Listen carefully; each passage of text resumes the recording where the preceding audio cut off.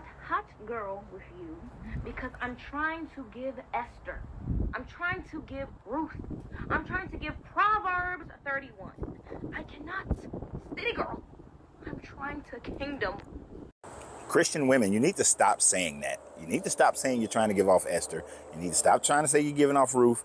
You need to stop with the Proverbs 31 woman because most American women, most westernized women, cannot be or are unwilling to accept what an actual Proverbs 31 woman is. Now, let me preface this by saying this. When I got divorced in 2008, but I was still willing to date Christian women, when we would get into this type of conversation, one of the biggest turnoffs I would have from them is when they would tell me that they're trying to be Ruth and they want me to be their Boaz. Or if they ever say that they're trying to give off Esther and I was supposed to be Xerxes. One night with the king. But then they would say they want to be a Proverbs 31 woman.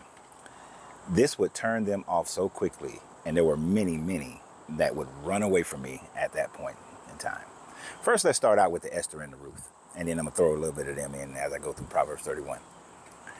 In the Esther part of it, most Christian women don't understand the story of Esther. Most Christian men don't understand the story of Esther. Here you have Xerxes, who already has multiple wives and has one wife who is the queen queen of all the wives.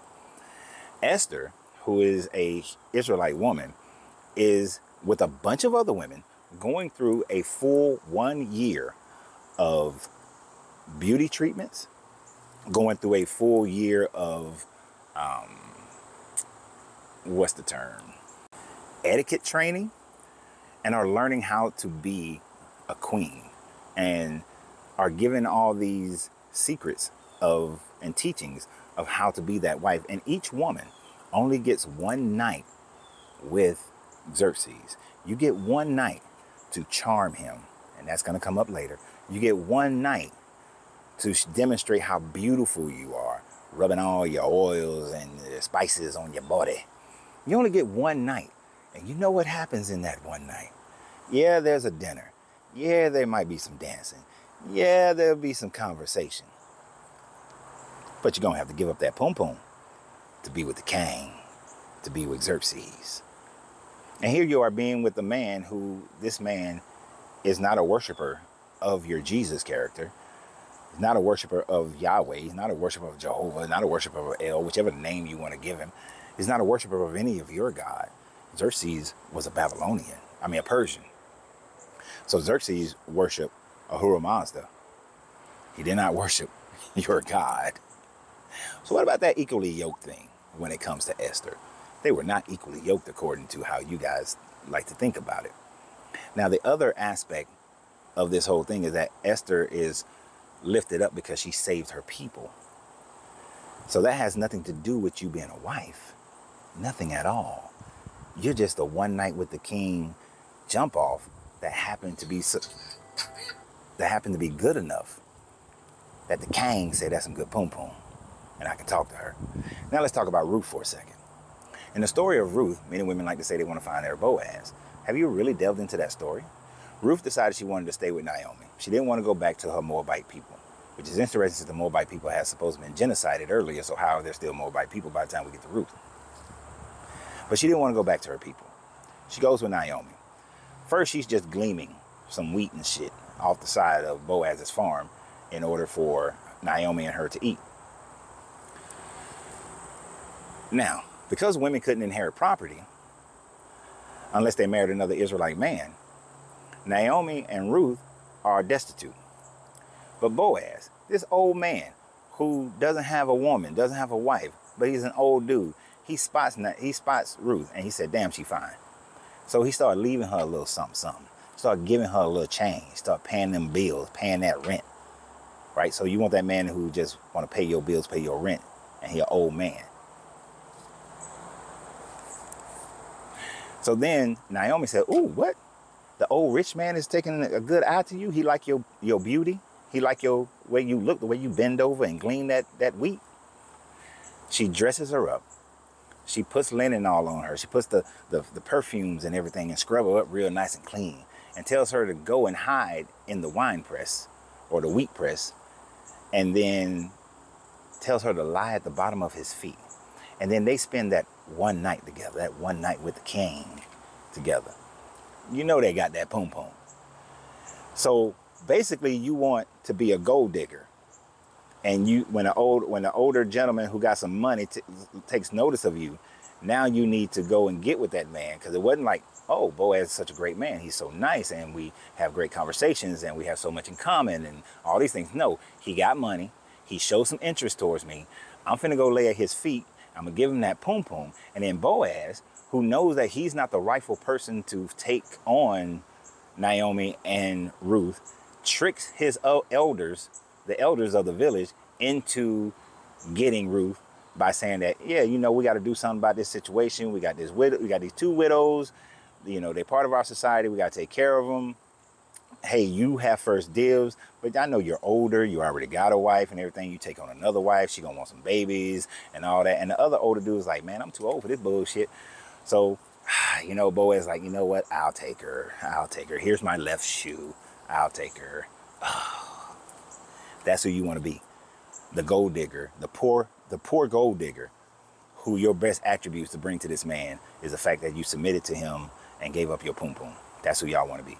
And now when it comes to a Proverbs 31 woman, Proverbs 31 is a king who's being who's telling his son what his mother had taught him.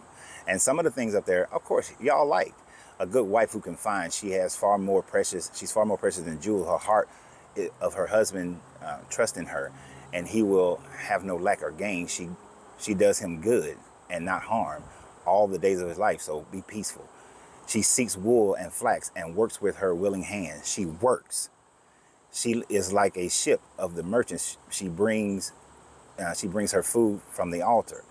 She now ships bring in goods. They do work. They bring in they bring in something to the table.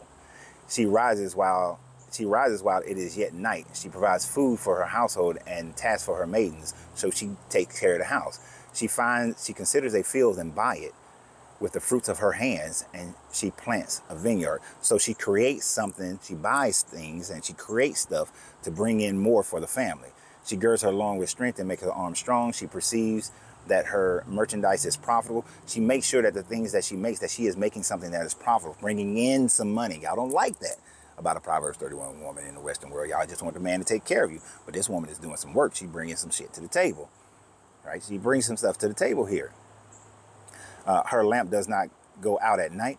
She puts her she puts her hands in the distaff of her hands, um, hold the spindle. She opens her hands to the poor and reaches out her hands to the. So she's a generous woman. She is not afraid of the snow for her household. So when things go bad, she doesn't get all up in arms. For all her households are clothed in scarlet. She makes herself coverings. Her clothing is fine linen and purple. And purple. Her husband is known in the gate, uh, known in the gates when he sits among the elders of the land. So she's not an embarrassment to him. She, uh, she makes linen garments and sells them. She creates something and she makes some money. She's not just sitting at home eating bonbons. She delivers girdles to the merchant. She is doing some work. Strength and dignity are her clothing, and she laughs at the same at, at the time to come. She ain't somebody who's creating issues and getting all worried. She opens her mouth with wisdom, and she teaches and teachings of kindness is in her is on her tongue. So she is a wise woman. She don't be listening to your friends. She looks well to the ways of her household, and she does not eat the bread of idleness. She ain't just sitting around eating bonbons. Her children raise raise up and call her blessed, and her husband also, and he praises her. Many women have done exactly, but you surpass them all. So she's better than the other women, better than her friends. Charm and deceit, and charm is deceitful, and beauty is vain, but a woman who fears the Lord is to be praised, giving her fruit of her hands and let her work praise uh, praise her in the gates. So this woman realized that charm and charm is deceitful and beauty is vain. So that means that the shit that Boaz and Ruth, I mean that Ruth and uh, Esther did with charming the king, charming Boaz with her root, with her beauty and their cunningness, is not something that a Proverbs 31 woman should be. And as well, a Proverbs 31 woman also brings in things, makes money, just like my grandmother used to make money, just like my great grandmother used to sell shit that she would make so that it would encompass in the household as well as take care of the house. Now, how many Western women are really Proverbs 31 women? So, y'all have a great day. And remember always, you have to free yourself to be yourself because your greatness is non negotiable. Good journey. Good